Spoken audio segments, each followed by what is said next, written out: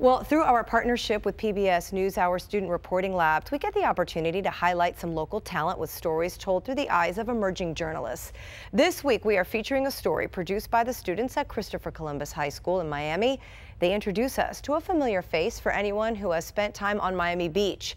Robert Raven Kraft has been running every day for the past 43 years on the beach and has amassed quite the dedicated following.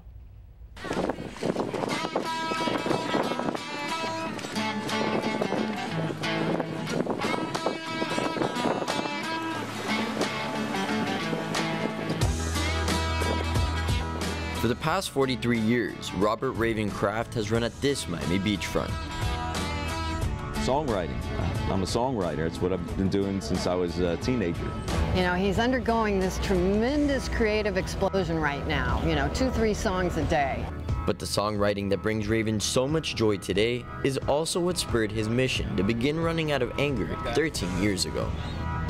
In the beginning, when Raven first started running, it was all about processing the anger, the resentment. Uh, started my streak on January 1st, 1975. I was a songwriter in Nashville in 1970. Somebody got a hold of a song I wrote and it became a hit. I didn't get credit, came back here angry.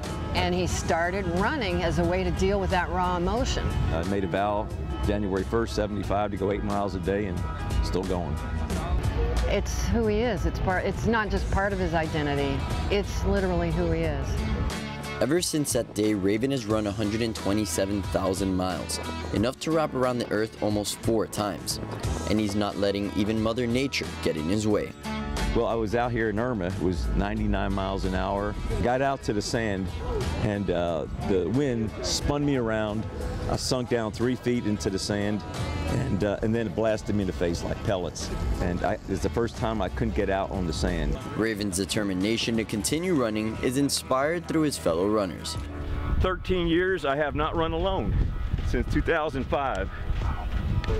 Well, obviously, the, my, the, my following is are healthy people, come out to run, to work out. And uh, I don't have a family, so people coming out to run with me becomes my family, and I become their family. Well, I've known Raven almost 40 years now. I met him when I started working here as a lifeguard back in the late 70s.